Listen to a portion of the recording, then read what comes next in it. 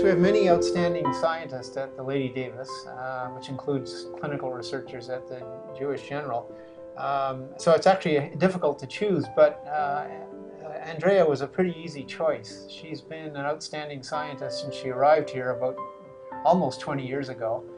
And uh, she's done some brilliant work that has got her some international recognition on a very important disease, Alzheimer's disease, with, with which I think everybody is familiar, uh, re realizes is a very important problem.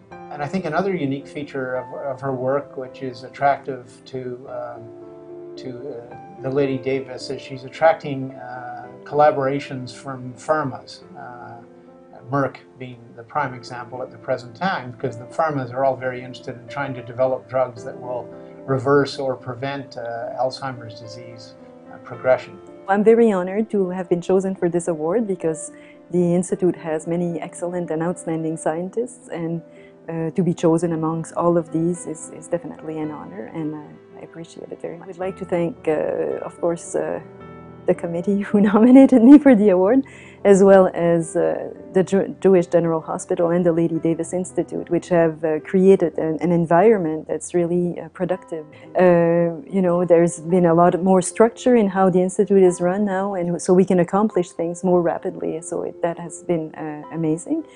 I would also like to acknowledge um, all of my students, uh, research staff, technicians, research associates, and postdoctoral fellows because they do all of the work.